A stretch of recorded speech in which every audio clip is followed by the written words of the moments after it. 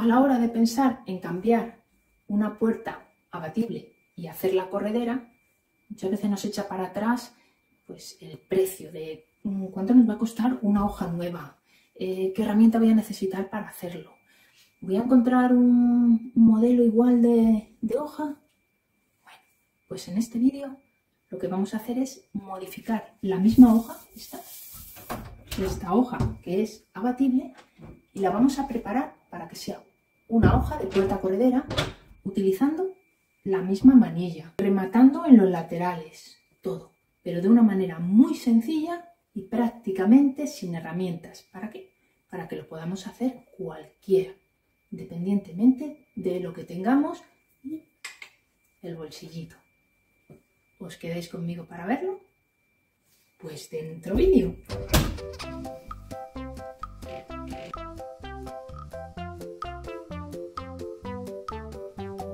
Mirad, esta es la puerta que vamos a poner.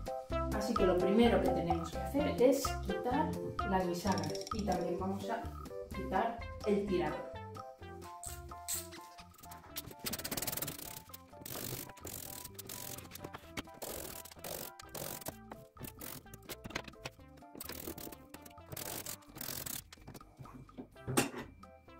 Aquí tenéis las, las manillas por la parte de dentro. Esta ya está desmontada ¿Y cómo funcionan? Pues mira, tienen aquí un muelle y este muelle es el que hace que cuando tú sueltas la manilla vuelva a su lugar.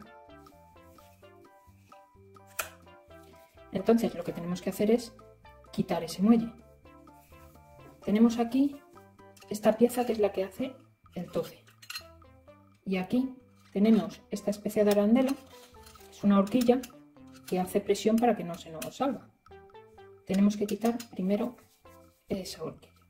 Vamos a ir con mucho cuidado. Ya habéis visto que me he puesto guantes porque vamos a coger un atornillador plano finito para poderlo quitar. Y si usáis gafas, si os ponéis gafas, casi también mejor por si saltara alguna cosa. Con un atornillador que sea muy finito para que se pueda meter aquí para apalancar sujetamos con la otra mano la horquilla y con paciencia, unas veces salen mejor y otras peor. Ahora sí, ¿verdad? Sí. Tenía que hacer varias tomas porque tenía uno más gordito, que con la otra me ha salido y con esta.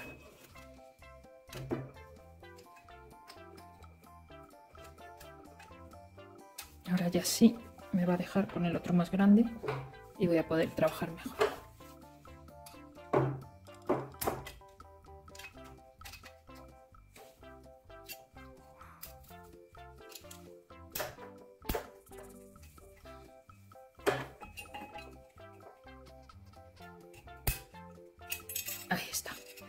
Se ha resistido, pero lo hemos conseguido.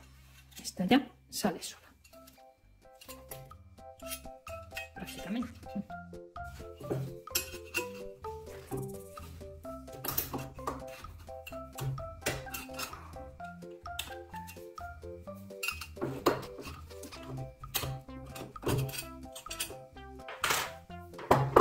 Y aquí tenemos el muelle. ¿Veis lo que os decía? Lo que hace.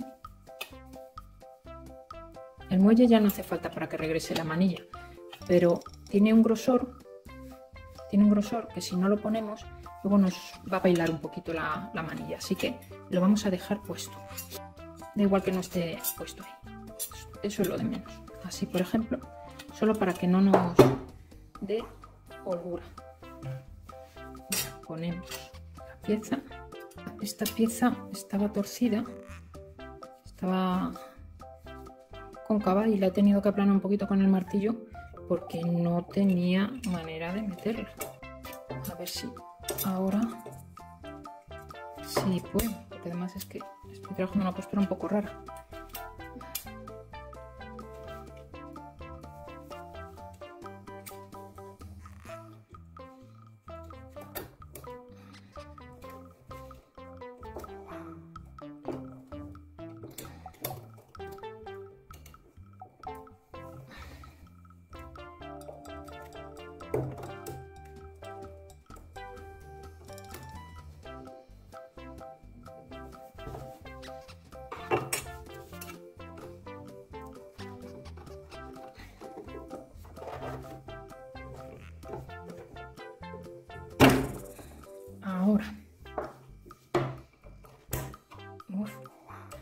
Dado lata y era porque estaba torcida. Pues una vez que ya tenemos puesta otra vez la pieza para sujetar la manilla, pues viene donde la mataron. Es decir, ¿qué hacemos con el resbalón? Porque claro, el resbalón sale y entra y sale. Vale, os voy a dar dos opciones. La primera, le he puesto aquí una piececita de madera, una espiga o tubillón, como le queráis llamar. ¿Qué es lo que hice? Cortarla. Entonces, eh, porque son muy largas, cortarla a esta medida.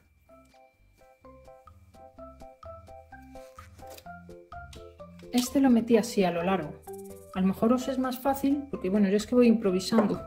Conforme voy haciendo el vídeo se me van ocurriendo cosas. Si cojo y meto estos dos así de pie,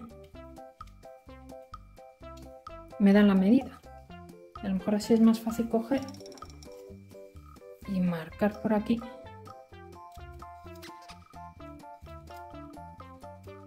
Y cortarlos. esta sería la opción si vamos a dejar el resbalón, porque imaginaos que en principio no vais a poner eh, ningún remate. Y entonces no se va a quedar el hueco de la petaca.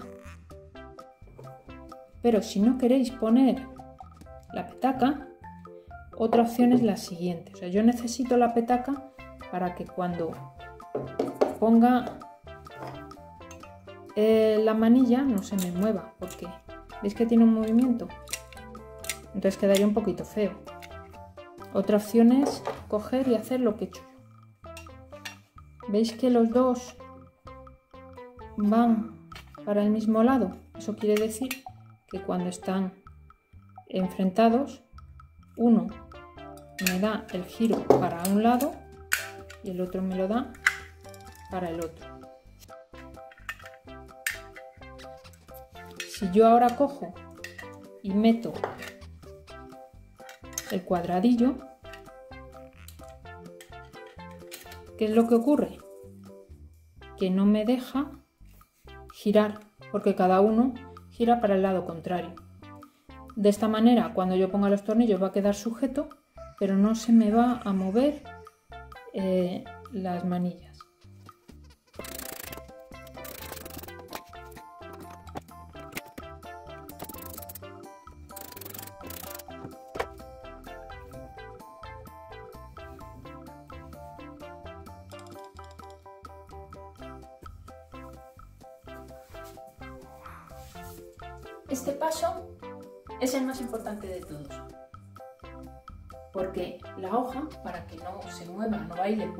Abajo, lleva una guía de este tipo.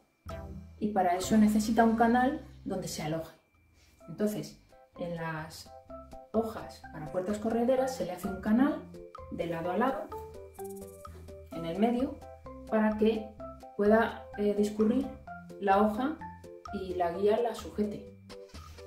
Eh, pues bien sea una hoja que nosotros adaptemos de una puerta batible o generalmente las hojas que compramos sueltas, la hoja simple, eh, no tampoco llevan ese, carril por lo, general, ese canal. Hay que hacérselo. Y ahí es donde viene pues quizás el, mayor problema que nos podamos encontrar, la mayor dificultad. Bien, ¿cómo se hace generalmente? Pues lo, más sencillo, lo más común es utilizar fresadora de este tipo, por ejemplo, y necesitamos una fresa como esta. Esta fresa tiene el grosor del carril, entonces cuando nosotros utilizamos la fresadora hacemos el corte, ese canal, a lo largo de toda la hoja. Bien, está claro que no todo el mundo va a tener una, fresadora, es una herramienta bastante específica y no te vas a comprar una fresadora para hacer un carril de estos. También se pueden hacer con sierras circulares y hay otros, otras herramientas. Eh, en otro vídeo os mostraré distintas maneras de hacer los canales, pero ahora lo vamos a hacer de la manera más sencilla como os dije, utilizando el mínimo de herramientas. Así que esta, fuera. Y entonces, ¿qué es lo que vamos a hacer? Suplementar. Vamos a coger y vamos a poner dos perfiles de madera de este tipo. Vamos a poner uno aquí y el otro aquí. De esta manera ya tenemos directamente el carril hecho. Vamos a mirar, bueno, en este caso parece que sí, que justo nos da la medida, porque yo tenía mis pequeñas dudas. Y es que eh, no en todos los sitios, ahora realmente en los, centros de bricolaje mm, hay muy, mucha menos variedad de, listones, de molduras. Eh, han optado por unas gamas que más de otro tipo. Y entonces, pues, hay veces que cuesta encontrarlo y yo quería algo que pudiéramos, que sea sencillo encontrar, para que lo podáis hacer todos. Y bien, este es un listón de 15 x 15, pero de pino, pero realmente tiene menos de, de 15 x 15, o sea, tiene 13. Yo he mirado con el calibre, con el pie de rey, y lo cual es una ventaja ahora mismo. Y no sé si lo llegaréis a ver, pero me marca 14 milímetros, casi no llega. ¿Mm? Os hablo en milímetros, que lo que estoy acostumbrada a las pulgadas es que se me da bastante, bastante mal. ¿eh? Pero también aquí lo tenéis en, pulgadas, la falta de costumbre. Yo solo las utilizo para las roscas de, de fontanería. Bien, entonces, pues bueno, eso de que tenga 2 milímetros menos nos viene muy bien porque la puerta tiene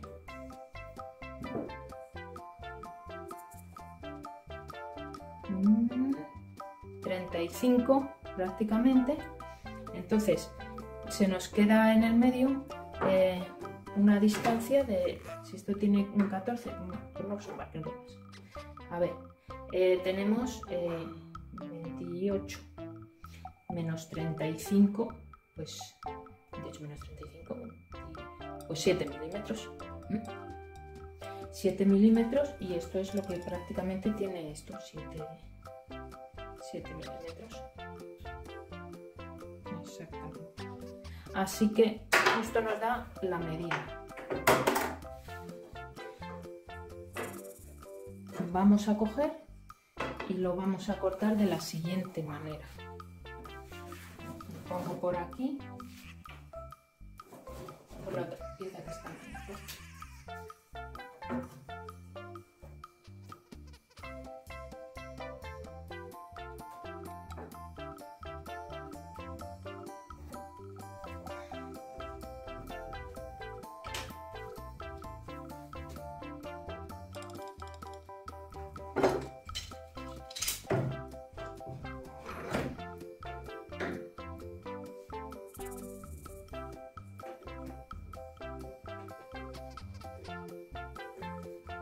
Bien, este listón es tan finito y tan blando que lo podemos cortar. O bien con una sierra para madera, una sierra de costilla, por ejemplo, que tenga los dientes así finitos mejor, con un arco de, sierra para metal. Yo lo voy a cortar directamente con el arco de sierra para metal, que queda muy el corte muy, finito y, además será lo, lo, más común que tengáis en una casa.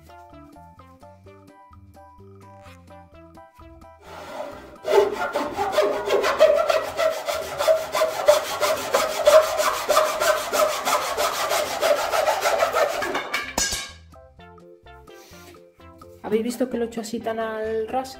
Para que no me astille nada. Vale, otra cosa. Por favor, no hagáis lo que yo. No utilicéis la puerta de mesa de trabajo. Aunque aquí he puesto un mártir, pero ya sabéis que estoy utilizando esto todo el tiempo.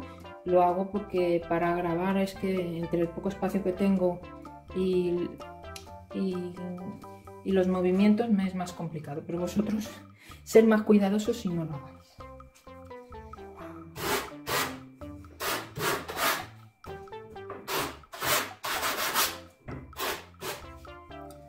Muy bien, pues vamos a poner ya los perfiles de la parte inferior para que corra la guía y sí, los he teñido eh, con betún de Judea rebajado con aguarrás para que no quede todo del mismo color. Además es que como no iba a quedar igual, porque no íbamos a encontrar un roble que fuera exactamente igual, porque además estas puertas al estar barnizadas siempre eh, van cogiendo un color más a miel con el paso del tiempo, pues es mejor que queden completamente distintas. De todas formas, mi idea, que por eso no estoy teniendo tanto cuidado con la hoja, es lijarla y pintarla en blanco. ¿Cómo ponemos los perfiles? Bueno, pues lo suyo sería echarle un adhesivo o cola blanca y luego unos clavitos. Así nos queda Mm, pero muy muy resistente. Sobre todo la cola blanca casi con eso sería suficiente. Ya os digo, yo no le voy a echar la cola blanca ni ningún adhesivo porque quiero, pues lo que os decía, después pintarla y entonces para pintarla, como esto sí que lo voy a mantener en este color, me es más, sencillo y, me va a quedar mejor si luego quito estas piezas y lo lijo y lijo la puerta y la pinto y la vuelvo a poner. Pero si vosotros no vais a hacer eso, pues os recomiendo que, le echéis eso, pegamento o cola, o cola blanca. Y luego además, pues ya os digo, le podéis meter unos tornillos, uy, unos tornillos digo, bueno, me refería a unos clavos, unos clavos de estos pequeñitos, estos son de, de 1,3 por 25 para que entren suficiente en, el, en la madera. Podemos poner, pues depende, si no hemos metido la cola, pues tres o cuatro tornillos. Uy, otra vez, clavos. Y punto.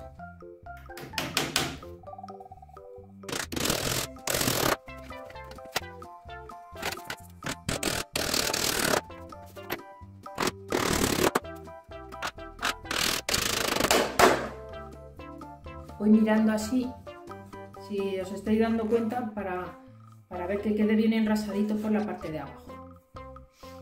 Pues ahora hacemos lo mismo con el de arriba. Y en el truquito de la, de la cinta, pues ya veis para que se me quede sujeto mientras lo pongo y no se... y sea más sencillito.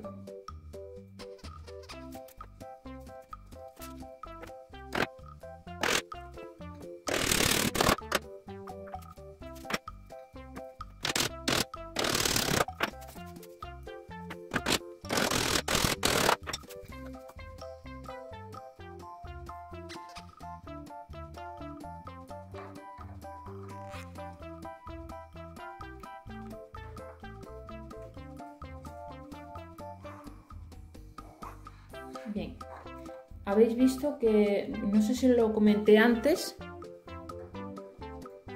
que era lo único que me preocupaba un poco, me parece que sí, os lo he comentado, era que esto no entrara bien.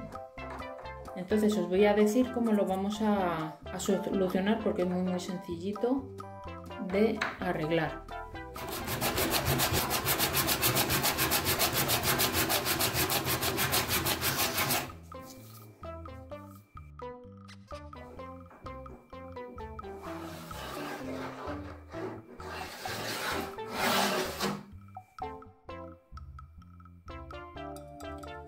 A por el siguiente paso y es hacer este remate de este canto.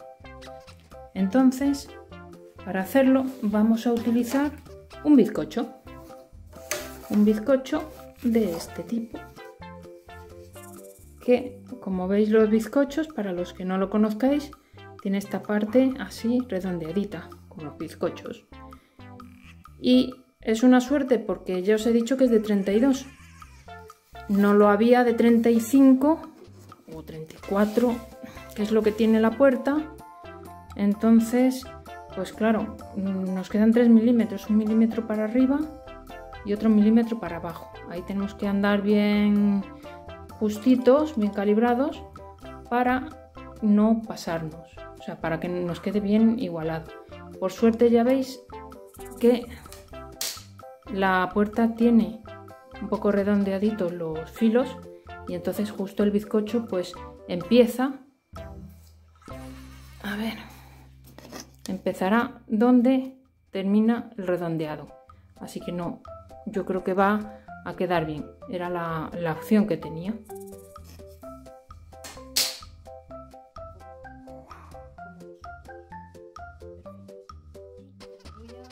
Lo he cortado para ponerlo por aquí y tapar el canal. En principio no necesito que vaya abierto para meter la puerta, por lo menos en este lado. En el otro tengo que mirar dependiendo de, cómo vaya montada las ruedas en los carriles. Pero vamos, en un momento dado lo que haría es eh, hacerle ahí una cajita de la medida del canal y ya está. De esa manera queda el remate más bonito. Voy a hacer igual, lo voy a sujetar con un poquito de celo y le voy a meter los clavos. Vale, una cosa que se me ha olvidado deciros, aquí igual lo, le pondríamos algún adhesivo, algún pegamento, pero en este caso sí que no podemos poner cola blanca, porque esto está barnizado y la cola blanca eh, necesita una superficie porosa para poder pegar. Entonces la cola blanca en el barniz no va a pegar, igual que, la, que tampoco pega sobre cola blanca seca. Entonces ahí tendremos que usar otro tipo de, adhesivo. Eh, yo tengo aquí este, por ejemplo, eh, a ver si se ve, este de aquí, que es un montaquit, pero bueno, no, no necesariamente este es uno muy muy fuerte, que pega bastante bien eh, y además es bastante rápido. Podéis utilizar si queréis este, este o uno parecido. Simplemente un adhesivo de montaje. Este es el que tengo a mano, por eso lo enseño, no por otra cosa. Vamos, sí que os puedo decir que va bien, eso sí.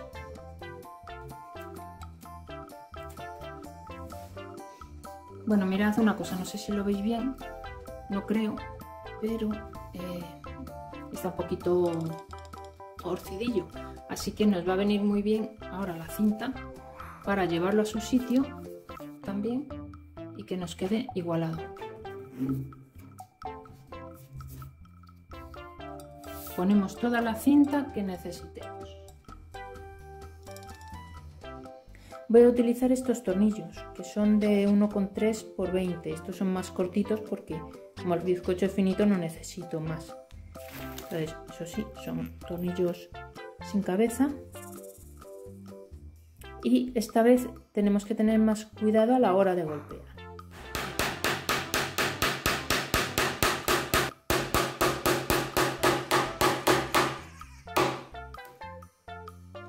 Antes, bueno, ya veis que lo he metido de, del todo con el martillo porque me daba igual si lo marcaba un poco, pero aquí pues no es plan tiene que quedar bien mono. Así que necesitaríamos para terminar de, meter el tornillo un botador. Entonces yo os voy a dar también otras opciones. Si no tenéis un botador podéis utilizar un clavo o un tornillo grande eh, al que le hayáis matado la punta para que nos quede así plano. Eh, estos de aquí que son los tornillos de ensamble que ya vienen planos, aún así yo le he lijado un poquito para porque esto marca un poco y lo podéis utilizar de botador.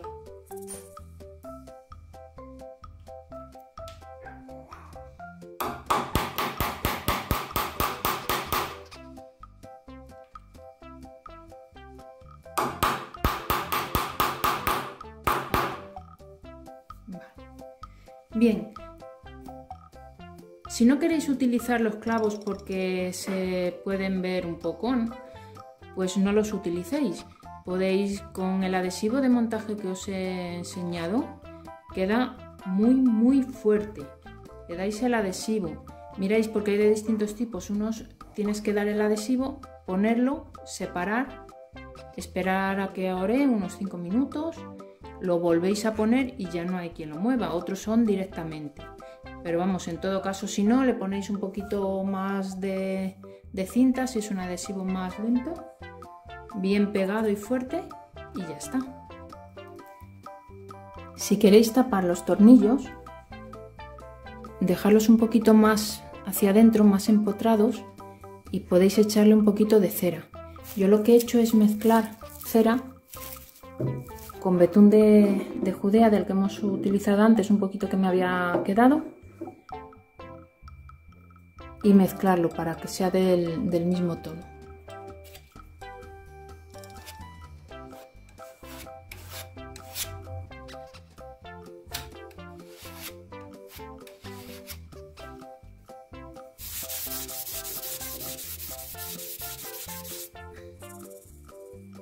Bueno, no ha quedado mal el remate, ¿verdad? Ha quedado muy igualadito. Incluso le hace bien esos milímetros que le... El, milímetro que le falta a cada lado hace que quede mejor todavía. Por lo menos para mi gusto. Hemos puesto ya el bizcocho del otro lado. Tiene un saliente y este saliente, pues bueno, pues para que pueda encajar bien, pues tiene ahí un cajeado, valga la redundancia. Entonces, este hueco es, queda un poquito feo y lo deberíamos tapar, ¿verdad?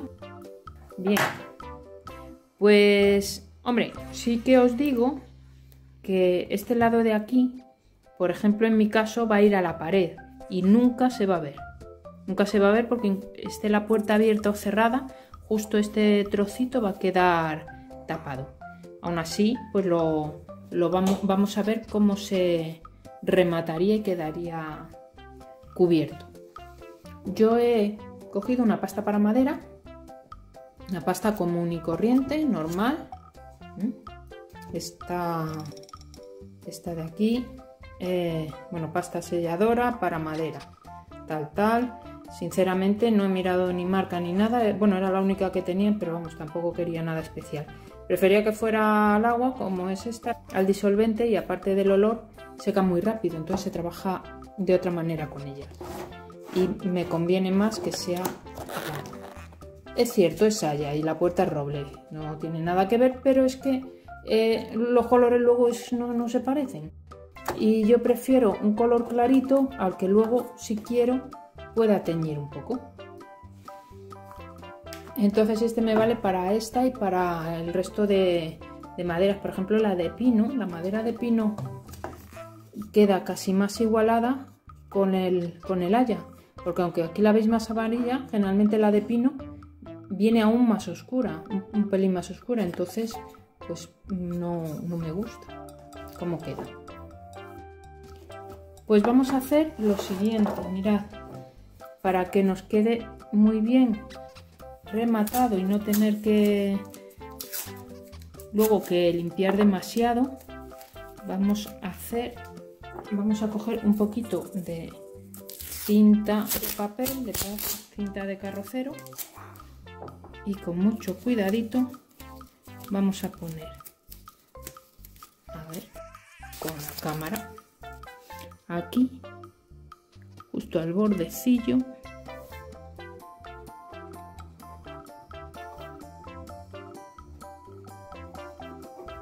Que no se nos despegue luego eso ponemos aquí también.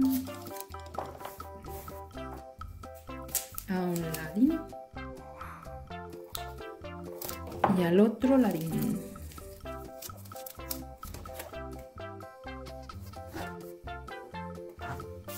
Y ahora vamos a echar la pasta.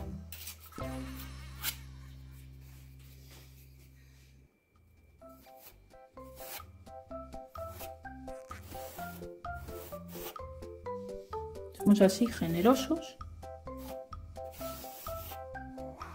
Y el resto, o sea, para que nos quede un poquito, aquí tengo un poquito de agua, con el mismo dedo se lo pasamos con mucho cuidado para alisarlo.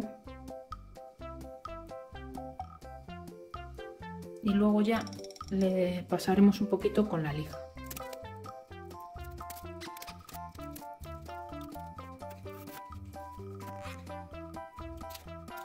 Vamos a darle un poquito con esta lija que es de grano muy fino de 400 para suavizarlo aunque con el agua ya veis que no se queda bastante suavecito y igualado. Creo que no hace falta más. Chan chan chan chan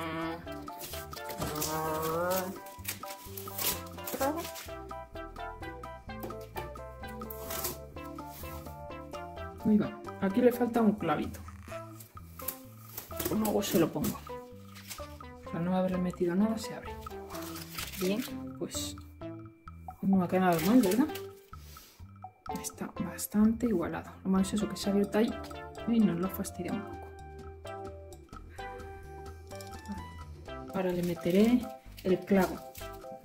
Mientras tanto, para que no se nos mueva, voy a dejar esto puesto aquí para hacerle el remate y no perder ahora el tiempo. Bien. Esto. Así.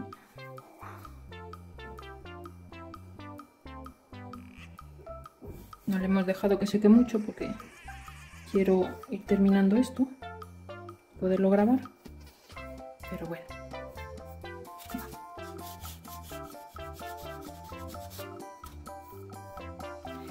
Pues he estado haciendo unas pruebas para darle un poquito de color con acuarela de esta de los niños. Porque ya os dije que lo que quería es sacar soluciones de cosas que sean lo más sencillos posible, vamos, que podemos tener.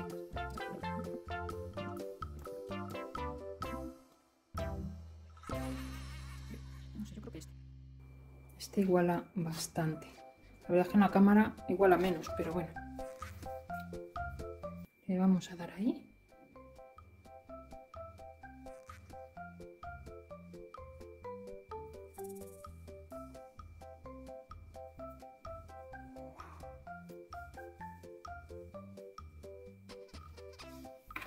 Vamos a darle un segundito para que seque. Vale, he aprovechado ya para meter el clavito ese que faltaba y ya ha secado un poquito. Entonces, mira, este lápiz tiene el mismo color que la beta de el roble. Entonces vamos a intentar un poquito, así disimuladamente, hacerle unas vetitas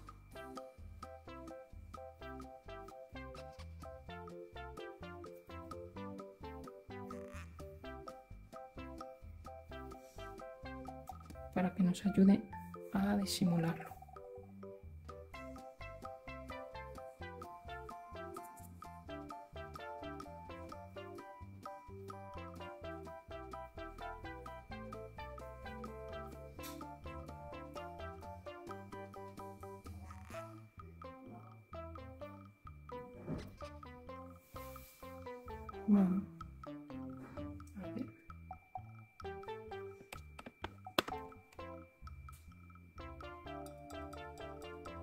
Pues queda bastante disimulado, ¿verdad?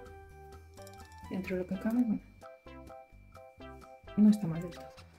En fin, señoras, señores, bricoladores varios, aquí tenéis el resultado de la puerta.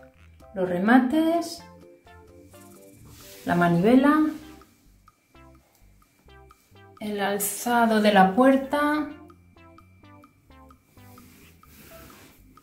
ahí con ese remate para que no se vea ni siquiera el canal.